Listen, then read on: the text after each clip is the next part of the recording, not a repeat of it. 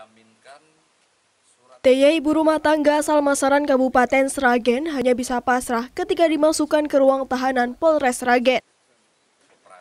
Diduga dia menjadi anggota sindikat pemalsuan bukti kepemilikan kendaraan bermotor atau BPKB. Sebelumnya tersangka ditangkap petugas di rumahnya, ikut pula ditangkap dalam kasus ini, DY warga desa Dresi Kulon, Kecamatan Kaliori, Kabupaten Rembang. Dari hasil pemeriksaan, diketahui DY berperan sebagai pemasuk BPKB palsu, sedang TY berperan sebagai operasional lapangan. Tugasnya menggunakan BPKB palsu ke koperasi simpan pinjam untuk kredit. Untuk mengelabui korban, awalnya tersangka TY lancar memberi angsuran. Namun selang beberapa bulan kemudian kreditnya macet. Berawal dari kasus inilah aksi TY dan DY terbongkar. Karena ada koperasi simpan pinjam yang menjadi korban melapor ke Polres Ragen dan diketahui BPKB yang digunakan ternyata palsu. Dengan modal BPKB palsu, TY dan DY berhasil membobol 5 koperasi simpan pinjam. Seluruh koperasi berada di Kabupaten Sragen.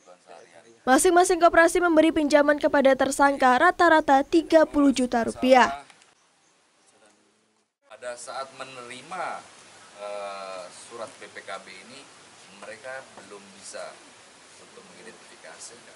Setelah itu dikoordinasikan kepada pihak eh, kepolisian, menyatakan palsu, dia melaporkan.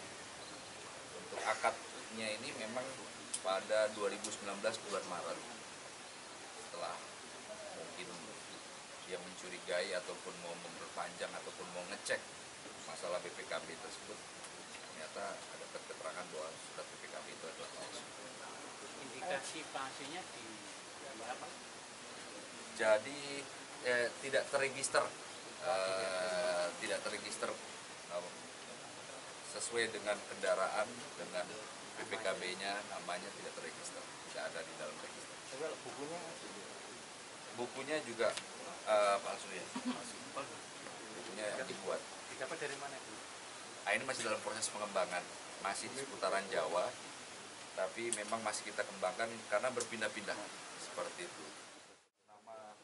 Akibat perbuatannya, kedua tersangka dijerat pasal 263 ayat 2 KUHP tentang pemalsuan surat dengan ancaman hukuman 6 tahun penjara. Dari Seragen Jawa Tengah, Joko Piroso, iNews melaporkan.